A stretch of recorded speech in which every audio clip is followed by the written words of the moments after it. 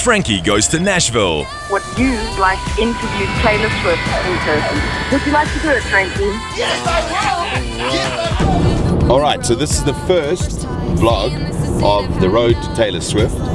We're still in South Africa. It's a Thursday afternoon. We fly on Sunday night. But now Gerda had this conversation with me about getting a little makeover.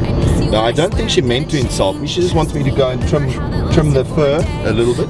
We're going to a place called Palladium. She's recommended this. I've never been here. I'm a guy, so I'm not really into the stuff. Not whatever needs to happen for Taylor Swift must happen. So we're going to go to Palladium, and find out who's going to be helping me get a haircut before we leave for Nashville on Sunday. So we've arrived at Palladium. This is where we're going to get a little bit of a makeover. Now check this. See, you can have your beer while you're getting your haircut. This is my kind of place. Tara, you've done well. This is Dave. Dave's going to be sorting me out with the haircut today. What are we doing? We're gonna give him a major change. So we're gonna go shorter, a bit more change. funky.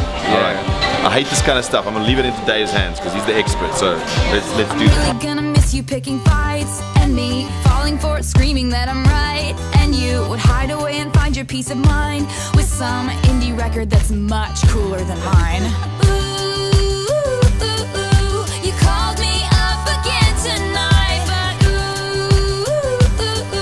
This is the shortest my has been in 10 years. Look, crazy.